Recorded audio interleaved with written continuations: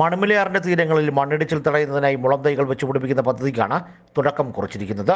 സാമൂഹ്യ വനവൽക്കരണ വകുപ്പിൽ നിന്നും എത്തിച്ച ആയിരം മുളം തൈകളാണ് തീരത്ത് വെച്ചുപിടിപ്പിച്ചിരിക്കുന്നത് പ്രളയാനന്തരം അടിഞ്ഞുകൂടിയ പ്ലാസ്റ്റിക് മാലിന്യം നീക്കം ചെയ്ത ബൃഹത്തായ പദ്ധതിക്കും വ്യാഴാഴ്ച തുടക്കമായി.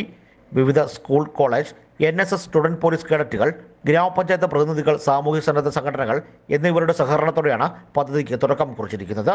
പഴയിടം കോസ്മയ്ക്ക് സമീപം മുളം നട്ട Kanjirappally M L A doctor N Jayaraj പദ്ധതി ഉദ്ഘാടനം ചെയ്തു. കഴിഞ്ഞ പ്രാവശ്യം പ്രളയത്തിൽ നമ്മൾ കണ്ടൊരു കാഴ്ച. കുളംകൂട്ടമുള്ള പ്രദേശങ്ങളിലൊക്കെ തന്നെ വെള്ളം അകത്തേക്ക് കയറാതെ ആ പ്രദേശത്തെ സംരക്ഷിച്ച് നിർത്തിയ ഒരു കാഴ്ച കാണാം. ഇതാണ് ഇതിന് പ്രചോദനമായത്.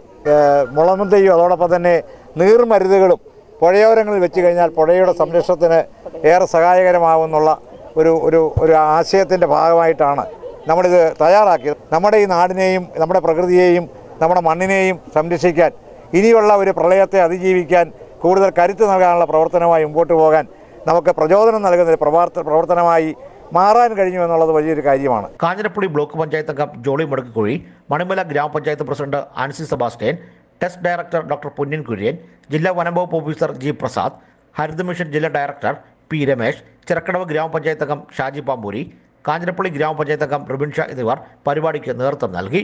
Kanjirappally saint Thomas college Manarcad saint Mary's college എന്നിവിടങ്ങളിലെ എൻ എസ് എസ് യൂണിറ്റും Manimala saint George higher secondary സ്കൂളിലെ സ്റ്റുഡൻസ് പോലീസ് കേഡറ്റ് യൂണിറ്റും പരിപാടിയിൽ പങ്കാളികളായി.